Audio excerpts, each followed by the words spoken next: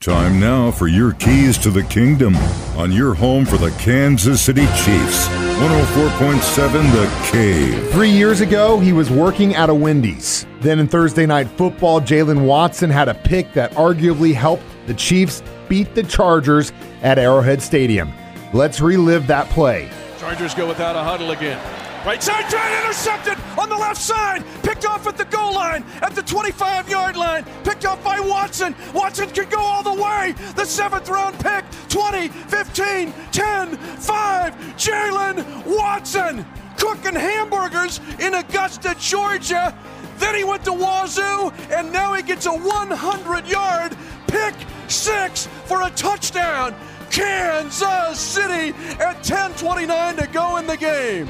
This is what Jaylen Watson had to say after the win in Kansas City. So we knew they liked to um, throw switch routes um, in the high red. So me and Justin, we worked together.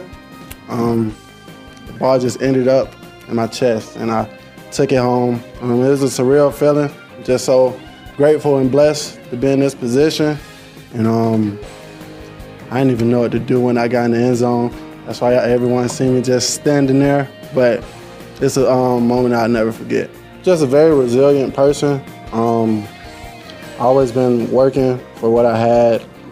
I was never given anything, and I, I think that gave me an edge on the football field as well.